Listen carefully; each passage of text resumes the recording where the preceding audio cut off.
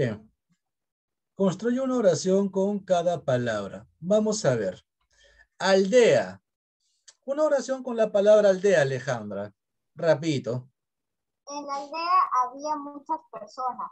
Listo, suficiente.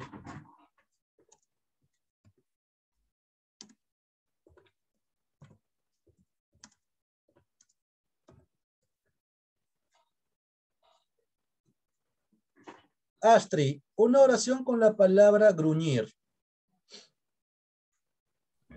Vi a un hombre gruñir. Mm, ¿Podría ser algo más?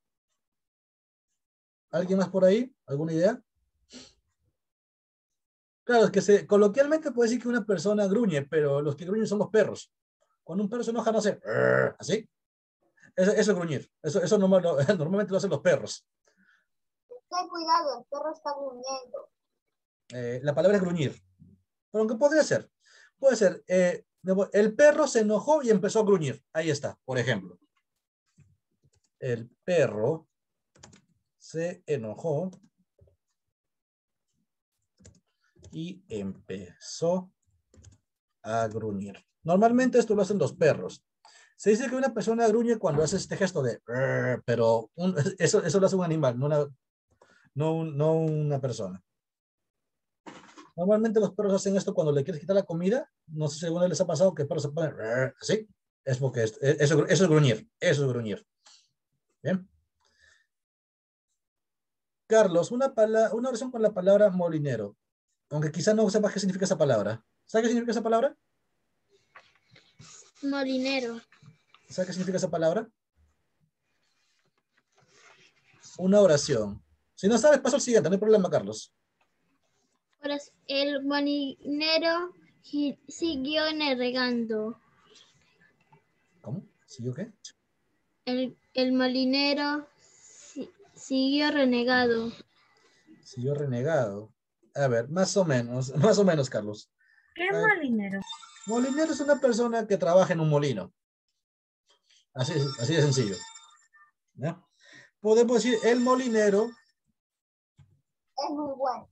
el molinero es un buen trabajador. Ahí está.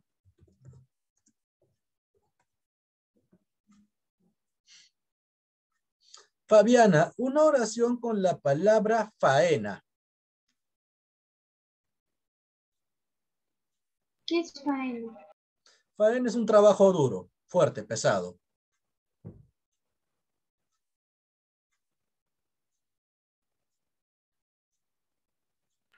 Un hombre muy fuerte trabaja. Un hombre muy fuerte trabaja. Podría ser, podría ser. Sí, bueno, un hombre. El hombre, el hombre fuerte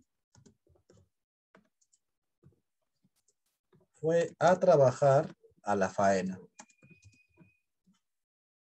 Una faena es un trabajo fuerte, duro, de campo. O sea, ir a trabajar en la mina, en la chacra. Eso es una faena, un trabajo duro para, para, para gente fuerte. Eso es una faena. Bien, hemos hecho cuatro oraciones. Quedan dos oraciones. Para- Eso, esa va a ser su primera misión. ¿Alguna pregunta?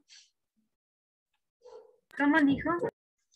Quedan dos oraciones para hacer. Esa es su primera tarea. ¿Alguna pregunta? ¿Bien? ¿Copiaron, copiaron estas, estas oraciones? Sí, ¿Sí? Muy bien. Carlos, Fabiana, ¿listos? Muy bien. Vamos a la parte de abajo entonces. Bien. ¿Cuál es el escenario donde ocurren los hechos? ¿En dónde ocurren los hechos? En una aldea. En una aldea. ¿Cómo era la aldea? lo puso en medio de la aldea o del pueblo. ¿Cómo, cómo? A ver. Castillo. una aldea. Eh, podríamos decir que los hechos ocurren en un castillo que, está, que estaba ubicado en una aldea, para ser más específico. ¿Sí? Creo que sí, ¿no? Un Profesor, rica- ¿qué rodeo? Rodeo. A ver, la palabra rodeo la podemos definir de, do- de dos maneras. Rodeo es cuando es, es, una, es un tipo de fiesta, eh, es un tipo de fiesta donde se celebran con toros y vacas, que los hacen correr al toro y cosas así. Eso es un rodeo. O también puede venir de la palabra rodear, que es ir alrededor de alguien. ¿También rodeo de gallos? Rodeo de gallo, ah, no, no, no conozco eso, de verdad, discúlpame. Así. Ah, sí, sé que, no, sé que hay actividades con peleas de gallo, pero no, no sé cómo se llama esta actividad. Eso sí desconozco. Sé que los rodeos se hacen con toros y vacas. Eso sí. Si, de- si hay de gallos, no lo sabía. ¿Ya? En los, los hechos ocurren en un castillo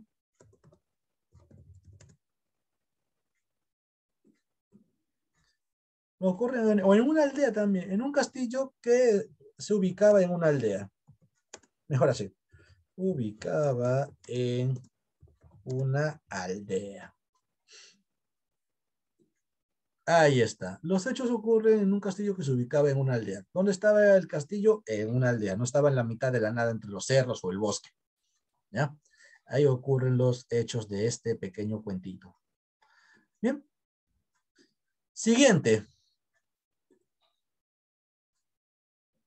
Según la lectura, ¿por qué en el pueblo había pobreza? Porque no les gustaba trabajar. Muy bien. Exacto, eran gente perezosa, muy flojos, ¿verdad? ¿Estamos bien? Sí, muy bien. Había pobreza porque la gente no le gustaba trabajar y eran y eran muy ocio, muy flojos o, o perezosos, ociosos, como dicen llamar. Eran muy flojos. No les gustaba el trabajo a estas personas. Por eso eran pobres.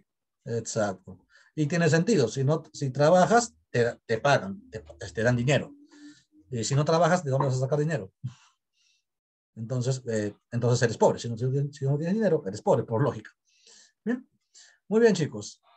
A mi cámara se ha movido. ¿Qué pasó con mi cámara?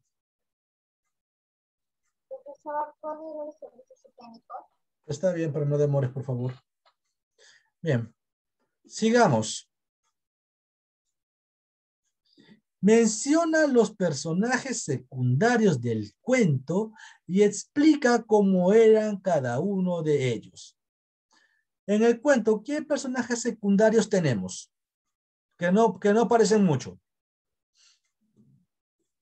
La vaca, No, no, no. La, la vaca no interviene en el cuento. Personajes. sec- ¿Limonero? ¿Cómo? ¿El hijo del limonero? El hijo de él. Molinero, ¿no? El molinero. Del molinero. Ya. Ese puede ser, ese podría ser. Muy bien. A ver, ¿alguien más?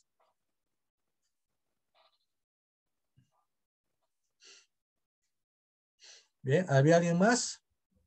¿Los vecinos? Los, ve- los vecinos también. Bien, entonces vamos a, vamos a, vamos a mencionar entonces estos personajes. ¿Ya? El primer personaje que tenemos, el hijo del molinero. la vaca no. El hijo del molinero. ¿Cómo era el hijo del molinero? Él era. ¿Cómo era el hijo del molinero según el texto? Trabajador. Él era un hombre trabajador. No era perezoso como las demás personas. Exacto. Vamos a los siguientes personajes. ¿Qué otro personaje secundario tenemos? Los vecinos, ¿verdad?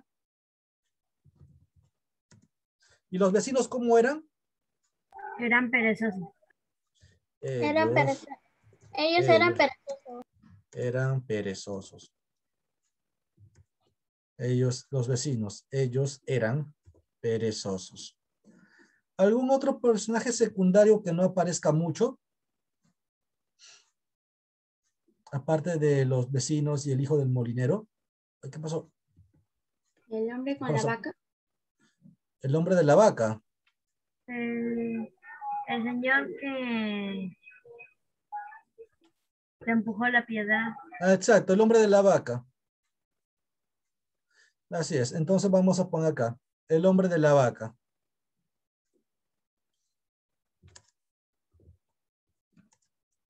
La vaca. ¿Cómo era este señor? Simplemente ignoró la pie, simplemente ignoraba las cosas.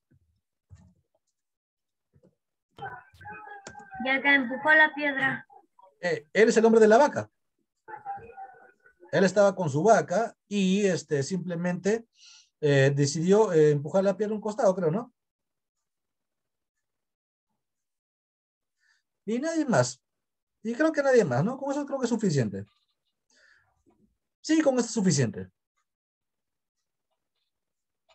Bien, chicos, ahí está. Nada más. ¿Copiaron esto? ¿Lo demás? ¿Sí, chicos? Muy bien, sigamos. Voy a borrar el primero para reacomodar estos de aquí.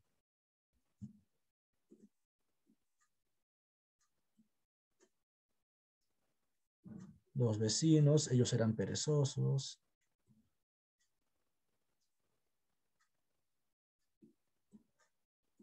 El hombre de la vaca. Muy bien. ¿Cuál es la enseñanza que transmite la lectura? No debemos subir de los trabajos difíciles y los retos. Muy bien, Carlos. Muy buena interpretación. Muy bien, muy bien, Carlos. Nos enseña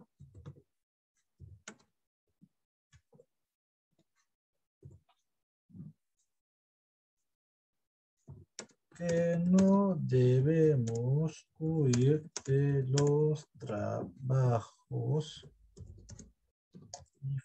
difíciles ni de los retos, sino que debemos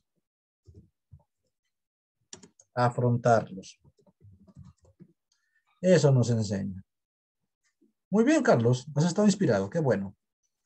Vas a almorzar bien hoy día por lo que veo. Qué bueno, Carlos. Bien, chicos. Y la última pregunta se las encargo a ustedes.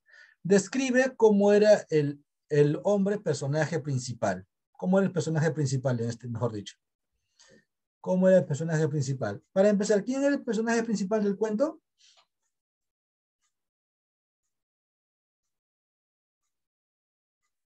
A ver. Rico. El hombre rico. ¿Cómo era esta persona? Descríbelo brevemente. Y con eso terminamos por el día de hoy.